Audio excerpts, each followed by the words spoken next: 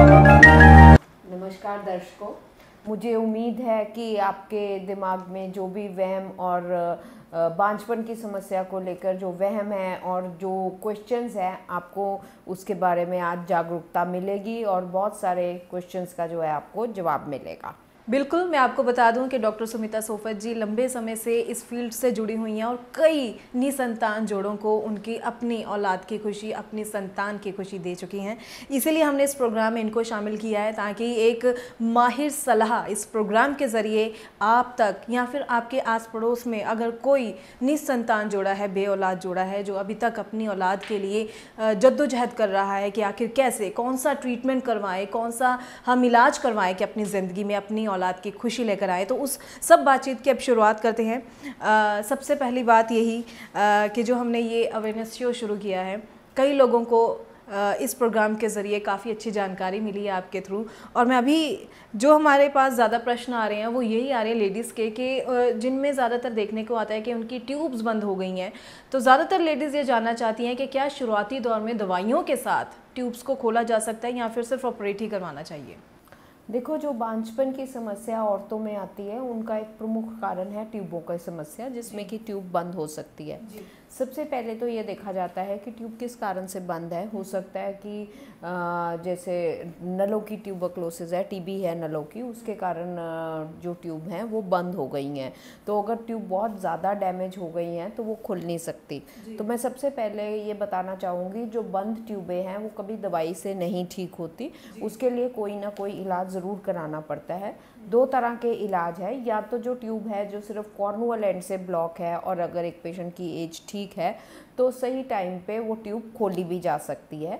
आजकल कई टेक्निक्स हैं जिनसे कोई ट्यूब खोली जा सकती है। उनमें से एक है स्टेरोस्कोपिक ट्यूबल कैनुलेशन उसके ज़रिए हम ट्यूब खोल सकते हैं। उसमें कोई चीरा कोई टांके की ज़रूरत नहीं होती तो ट्यूब खोली जा सकती है। पर जिन कपल्स में जिन लेडीज़ में ट्यूब्स की बहुत ज़्यादा डैमेज हो गया है ट्यूब में पानी भरा हुआ है ट्यूब में पस भरी हुई है तो ऐसे केसेस या कि लंबे दौरान से बांझपन की समस्या है ऐसे केसेस में हम ट्यूब नहीं खोल सकते तो उनको टेस्ट ट्यूब बेबी या उससे ऊपर की जो टेक्निक्स है, वो करा लेनी चाहिए। उससे जड़े जो है कि ट्यूब्स की समस्या का समाधान हो सकता है। जी, बिल्कुल। और एक ऐसी समस्या को लेकर एक मैसेज हमारे तक आया है। उषा कुमारी ने भेजा है हमीरपुर से। इनकी एज 35 साल है। इन्होंने लिखा है कि 10 साल हो चुके हैं इनकी शादी को। ट्यूब्स बंद हैं, जिसकी वजह से अब तक उनकी ज़िंदगी में उनकी औलाद नहीं हो सकी। सो uh, देखा uh, इनकी जो है ट्यूब्स बंद है इनकी शादी को काफ़ी समय हो गया है दस साल से ज़्यादा हो गए हैं तो इनको टेस्ट ट्यूब बेबी या उससे ऊपर की टेक्निक करानी चाहिए। अब इस टेक्निक में क्या किया जाता है एक लेडी के पहले तो सबसे पहले अंडे जो हैं वो बनाए जाते हैं इंजेक्शन्स लगाए जाते हैं अंडे बनाए जाते हैं। फिर ये अल्ट्रासाउंड के ज़रिए जो है अंडे निकाले जाते हैं। जब ये अंडे निकाले जाते हैं तो टेस्ट ट्यूब बेबी लेबॉर्ट्री में शुक्राणुओं के साथ अंडों का मिलन किया जाता है और भ्रूण तैयार करके बच्चेदानी में रखा जाता है। सो इस विधि को हम टेस्ट ट्यूब बेबी कहते हैं। जी बिल्कुल। आ, कई कपल्स में देखा जाता है कि हस्बैंड वाइफ दोनों वर्किंग होते हैं। हस्बैंड अब्रॉड में है या फिर उनका जॉब का कुछ रूटीन ऐसा है कि वो बार बार नहीं आ सकते। आ, उनके लिए ये ट्रीटमेंट कैसे फ़ायदेमंद रह सकता है? देखो जो भी है कि एक निसंतान जोड़े को कभी ये नहीं सोचना चाहिए कि अगर उनके हस्बैंड आर्मी में हैं या बाहर काम कर रहे हैं या वो नहीं आ सकते तो वो संतान सुख की प्राप्ति नहीं कर सकते। ऐसी गलत धारणा है।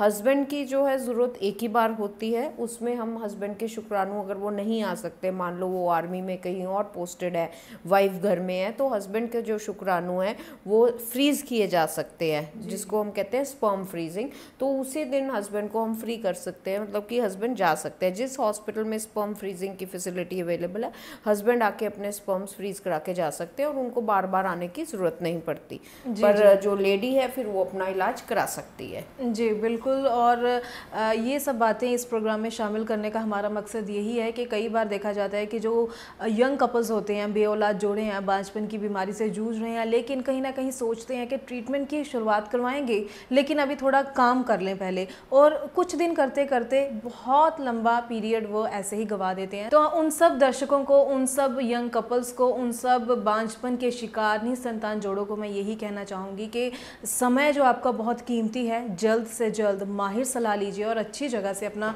ट्रीटमेंट जो है उसकी शुरुआत करवाइए। आगे बढ़ूँगी मैं, जो अगला सवाल मेरा यही है कि जो पुरुषों में देखा जाता है शुक्राणुओं की समस्या रहती है। शुरू में अगर उनके शुक्राणुओं की गिनती अगर देखें टेस्ट करवाने के बाद, थोड़ी लिमिट के नज़दीक या कम है तो क्या दवाइयों के साथ उनका इलाज हो सकता है? देखो जो पुरुष में बांझपन की समस्या है उसका सबसे प्रमुख कारण है शुक्राणुओं की कमी होना या बिल्कुल ही नील शुक्राणु होना जो। कि आजकल काफ़ी ज़्यादा मात्रा में ऐसे पेशेंट्स देखे जा रहे हैं।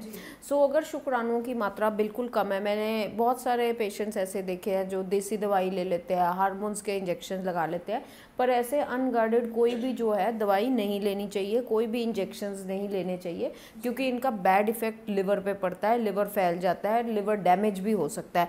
सो so, ये बहुत इंपॉर्टेंट चीज़ है कि जिनके आदमियों के शुक्राणु कम हैं उनको बिल्कुल मेडिकल गाइडेंस के अंडर ही ट्रीटमेंट लेना चाहिए।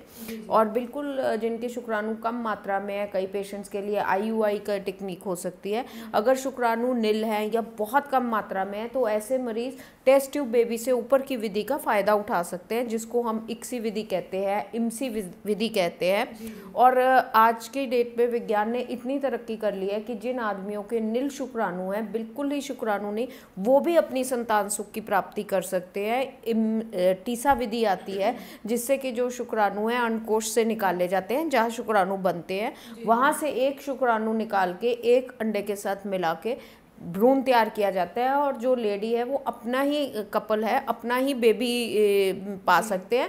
उनको एडॉप्शन की कोई ज़रूरत नहीं उनको सीमन जो है सीमन बैंक से लेने की भी ज़रूरत नहीं। सो ये जो टेक्निक्स है जो नई टेक्निक्स आई हैं इससे जो बे औलाद जोड़े हैं जिनके हस्बैंड्स में नील शुक्राणु हैं वो भी अपनी संतान सुख की प्राप्ति कर सकते हैं। जी बिल्कुल। अगर मेडिकल साइंस इतनी तरक्की कर चुकी है तो हमें भी इसका ज़रूर फ़ायदा उठाना चाहिए। जिन बे औलाद जोड़ों में देखे देखने में आता है कि हस्बैंड में कमी है, शुक्राणु बहुत कम है, या हम बात करते हैं कि नील हो चुके हैं, वो भी हताश मत होइए, अभी भी अब आपकी ज़िंदगी में एक उम्मीद ज़रूर है, आप आगे बढ़िए, माहिर डॉक्टर की सलाह के साथ अच्छा ट्रीटमेंट करवाइए, नील शुक्राणु वाले भी अपनी औलाद का सुख ज़रूर ले सकते हैं।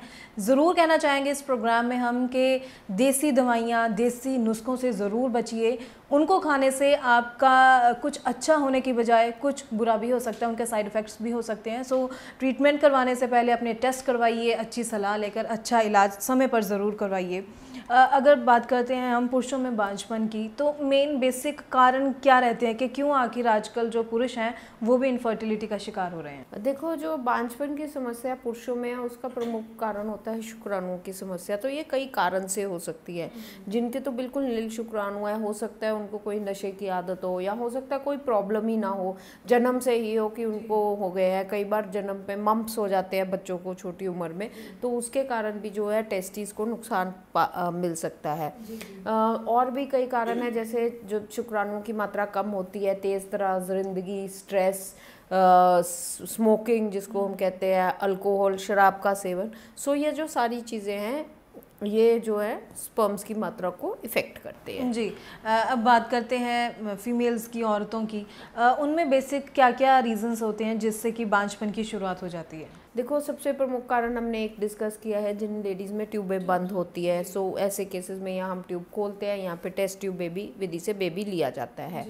या फिर अगर किसी में अंडेदानी में मान लो रसौली है या अंडा नहीं बन रहा तो वो देखा जाता है या माहवारी बंद हो गई है या बच्चेदानी बहुत छोटी है बच्चेदानी की तय कमज़ोर है बच्चेदानी में भी रसौलियाँ हो सकती है। सो ऐसे ये कई कारण है जिनके कारण बाजपन की समस्या औरतों में आ सकती है। पर हर कारण का इलाज है। अगर एक लेडी की बच्चेदानी में बच्चेदानी का साइज़ छोटा है या बच्चेदानी की तय ख़राब हो गई है या उसकी माहवारी बंद हो गई है एक तो माहवारी आके बंद हो जाती है जल्दी उम्र में या फिर कि जिनकी एज बड़ी हो गई है थोड़ी उनकी माहवारी बंद हो गई है या जिनमें प्री मेच्योर मेनोपॉज जिसको कहते हैं जल्दी बंद हो जाना तो वो भी केसेस में अब वो प्रेगनेंसी ले सकते हैं पेशेंट्स एग डोनेशन एक तरीका है जिसमें अंडा जो है अंडा बैंक से लिया जाता है भ्रूण तैयार करके बच्चेदानी में रखा जाता है और बेबी लिया जाता है। सो so, ऐसी लेडीज़ को जिनकी माहवारी कम है बंद हो गई है या ख़राब हो गई है वो भी हताश नहीं होना चाहिए। और जिन लेडीज़ में अगर बच्चेदानी की तय जो है कमज़ोर है किसी भी कारण कमज़ोर है आजकल नई टेक्निक्स आ गई हैं जिससे हम तय को भी ठीक कर सकते हैं। और दूसरी बात है कि जो मोस्ट कॉमन कॉज आजकल देखा गया है कि बच्चेदानी में जो है रसौलिया है। सो लेडी को ऐसे लगता है कि अगर उसकी रसौलिया है तो वो प्रेगनेंसी नहीं प्रेगनेंसी में तकलीफ़ आ सकती है बिल्कुल तो प्रॉब्लम आ सकती है। तो इसमें सबसे पहले देखा जाता है कि जो रसौलिया है, वो बच्चेदानी की तय से दूर है या बच्चेदानी के पास है। एक ही है या उनका साइज़ कितना बड़ा है, उस हिसाब से देखा जाता है कि रसौली निकालने की ज़रूरत है कि बिना रसौली निकाले भी प्रेगनेंसी हो जाए। तो आजकल जो टेक्निक्स है, उसमें जो है बच्चेदानी की सिर्फ़ रसौली निकाली जाती है, वो भी दूरबीन के ज़रिए रसौली निकाली जाती है। पूरी बच्चेदानी निकालने की ज़रूरत नहीं पड़ती। जी, एक और चीज़ सुनने में आती है कि कहा जाता है कि अगर थायराइड है तो भी जो एक लेडी है, वो अपना माँ बनने का सपना साकार नहीं कर सकती। तो थायराइड का कितना रोल रहता है बांझपन की समस्या में? आ, देखो जिन लेडीज़ को थायराइड है हो सकता है उनको पॉलीसिस्टिक ओवेरियन डिज़ीज़ हो मतलब कि उनका अंडा ठीक ना बने। सो so, अगर थायराइड जो बीमारी है वो कंट्रोल हो जाती है तो उस वो प्रेगनेंसी में नहीं प्रॉब्लम करनी चाहिए। और अगर एक लेडी को पॉलीसिस्टिक ओवेरियन डिज़ीज़ है जिसमें छोटी छोटी पानी की रसौलियाँ बन जाती हैं तो ऐसे केसेस में भी उनके अंडे बनाए जा सकते हैं स्पेशल मेडिसिन आती है टीके आते हैं जिससे कि अंडा तैयार किया जाता है। सो so, ऐसे लेडीज़ को बिल्कुल हताश नहीं होना चाहिए। जी जी बिल्कुल।